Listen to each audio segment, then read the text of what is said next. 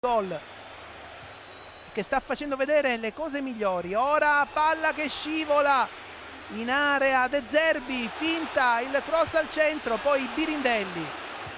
Trotta va a cercare il gol! Gol del Napoli! Arriva ed esplode lo stadio San Paolo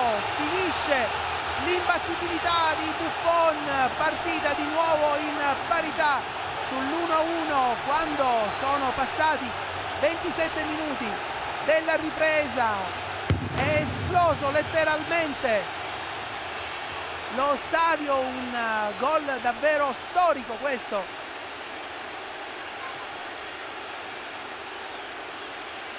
Dovrebbe essere stato Bogliacino Ecco, infatti sì.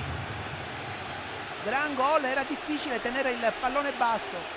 De Zerbi. De Zerbi. L'entrata di De Zerbi ha dato davvero in là a questa azione che ha portato al pareggio del Napoli. Ci voleva, la squadra si ha reagito bene dopo il gol di Del Piero, ma l'entrata di De Zerbi